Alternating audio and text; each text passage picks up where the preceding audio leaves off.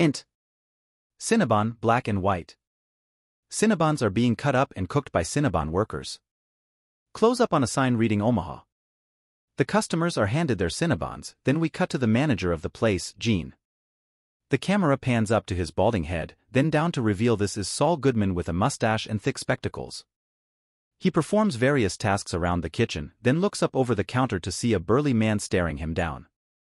The man walks to the counter, gets a good look at Saul, and then walks out to meet a group of friends. Ekte. Saul Goodman's apartment, black and white.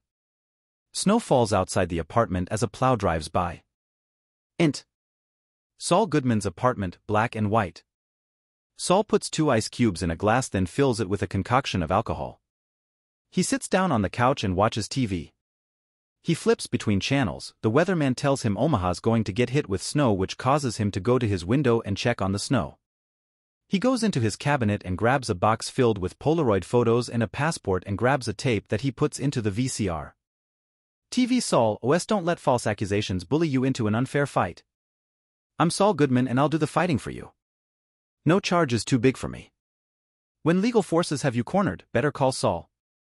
Close up on modern day Saul looking miserable. TV Saul, Wes, I'll get your case dismissed. I'll give you the defense you deserve.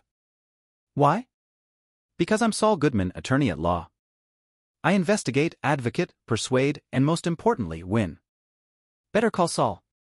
Camera slowly zooms in on modern day Saul holding back tears. TV Saul, Wes, do you feel doomed? Have opponents of freedom wrongly intimidated you? Maybe they told you that you're in serious trouble and there's nothing you can do about it. I'm Saul Goodman, and I'm here to tell you that they're wrong.